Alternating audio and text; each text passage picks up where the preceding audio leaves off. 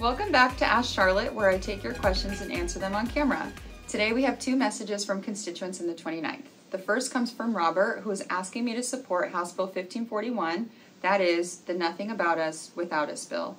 This is a really good bill and I'm very proud to support it. What this bill would do is make sure that people with lived experience are counted on boards and commissions and anywhere that decisions that are being made about that community are happening. What this means is if there's a task force uh, that would make decisions about immigrant communities, then there are immigrant voices on that communities. If there are task forces that are making decisions that would affect the disabilities community, then there are folks, self advocates, that are able to serve on that commission. I was really proud to support this in my committee, and I'm really glad that it's one step closer to a vote.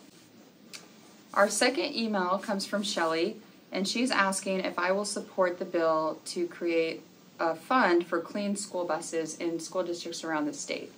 This is a really important bill. Diesel engines cause air pollution, and we want to make sure that every school district, regardless of whether it's a wealthy school district, an urban or rural school district, has enough funding to make sure that they can have clean school buses for healthier air for kids. I'm really happy to support it, and it's also moving along the legislative process.